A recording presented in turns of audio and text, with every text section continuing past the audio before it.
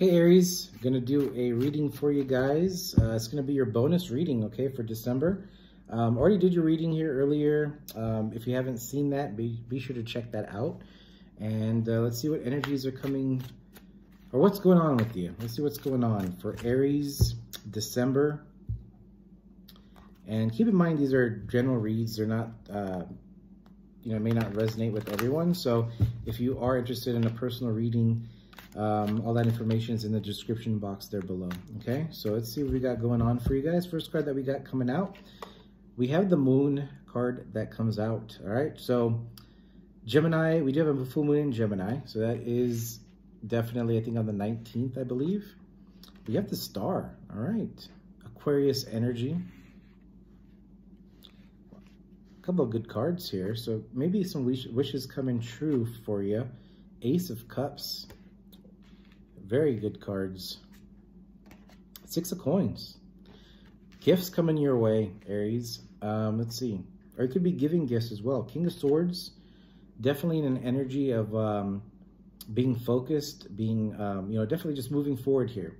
Um, it's not a negative energy or cutting people off type of energy. I feel like it's just you being focused and moving forward, okay? Definitely determined on uh, succeeding or you know determined on getting things done you know and with the ace of cups though there's there's something really good coming in here. We're gonna have to see what that's all about. Uh, you're gonna have some options seven of cups here. So maybe Aries that i'm connecting with here you might have a lot of options going on. It could be just you have a lot of stuff going on as well okay? Um, you know with the six of coins it tells me that you're you know you're in that mood of giving as well. So maybe you know obviously it's the holidays coming up here but, you know, the, there's some Aries here that maybe, um,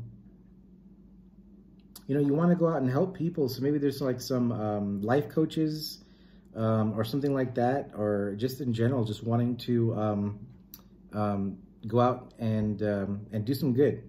Uh, with the star energy, though, it's, it's telling me too that, you know, things that you have been wanting, um, you know, wishing for or thinking about, you know, just waiting for your stuff to come in here or your your ships to come in. Um, I feel like that is starting to happen. You're going to start seeing gifts come your way, okay? Um, so whatever the case is, and especially, you know, for, for Aries that are also single and looking for somebody, a lot of con uh, communication during the upcoming full moon here. It's, it's a full moon in Gemini, so it's a lot of communication. You could be going out to parties, meeting new people, uh, not necessarily to having to be romantic, um, maybe it's networking to, you know, in a business sense to where you get offered a new position or a new job or a potential uh, to make more money as well, okay? Um, so for some Aries that that is also happening for you. Um, we have strength, Leo energy, so you're definitely confident. So the Leos that I'm speaking to here are not only focused, determined to succeed and just getting their, you know, you're getting your stuff done and and, um, you know, again, it's like energy. And a lot of zodiacs are having this energy of getting things done before the end of the year, too. So it's like, if it's work, it's like, I want to get everything done so I can kind of relax. You know what I mean? Um, so it's kind of that energy of, of that as well. But very confident, Aries. You're very confident. Um, let's see. Yeah, see? So Six of Wands. Leo energy again. You could be dealing with the Leo too. You could have a Leo coming in trying to offer you something as well. So it could be another fire sign. Could you have air. You could have, um, we have Pisces. We have, uh, we have everything here. Okay. Yeah, we have water, Scorpio. Um, yep, we have everything on the board. And then we have the hanging man, Pisces energy. Okay. So, um, interesting. Interesting. Of the deck, we do have the Hermit card. So whatever's going on, Aries, I think, um, number one, for some Aries, I feel like you're really busy, okay? I feel that um, you're juggling multiple projects. You're, you're, you're trying to accommodate a lot of people. And meaning that, you know, maybe you have friend groups or family situations where you have to attend to, dinners, lunches, whatever the case is, and you're trying to juggle everything so you can make everyone happy, all right? Uh, and maybe you're you're setting up parties and everything as well. So it's kind of like just trying to make things happen. But at the same time with the hermit energy, it's like you're also having that feeling that you want to be alone or have some time to yourself or at least take a break. Um, so maybe you're looking into traveling.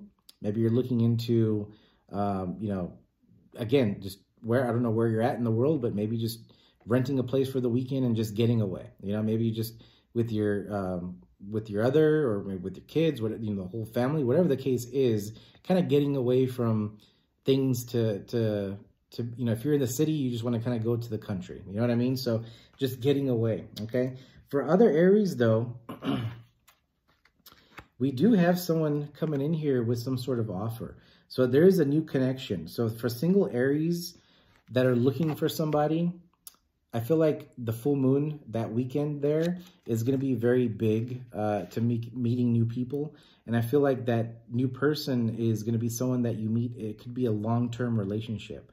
Um, so that Ace of Cups there is like a, um, it's a gift, definitely a gift from the universe here. Okay, so it's like the universe is gifting you something, you know, with, with all the hard work, maybe all the good stuff you put out there. And I said, you know, maybe some of you guys are life coaches or helping others and, and things like that. And kind of, you know, Leo had a similar reading where, you know, you know, it's, it's a season to obviously give, but also to get out and help people, right? So if you're able to volunteer, able to go to homeless shelters, if you have the ability to, you know, um, to help people in general. I feel like that, you know, we have, I feel the energy of people doing that as well. Okay. Which is really nice.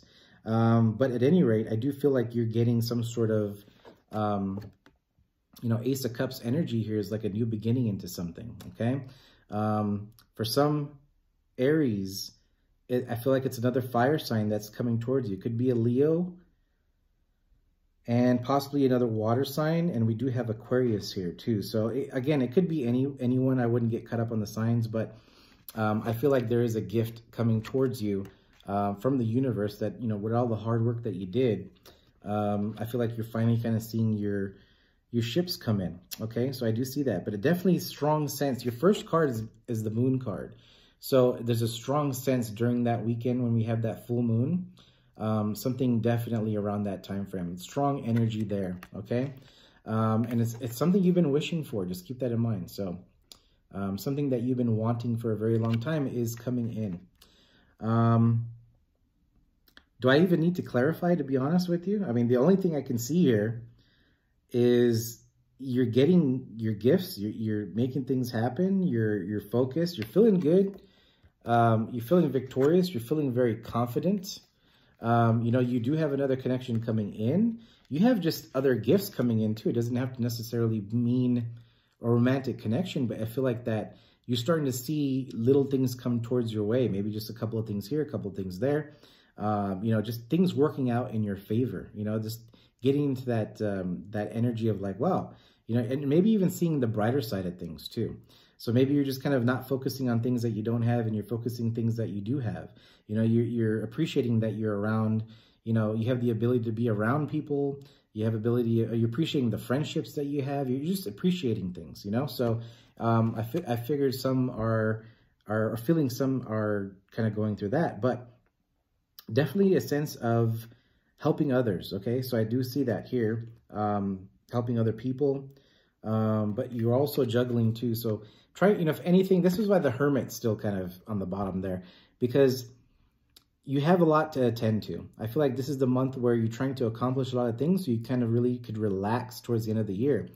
But, um, you know, you're wanting to help people and you're also trying to make everyone happy by, you know, getting to the dinner times, you know, doing this, doing that, uh, making sure all your work is taken care of.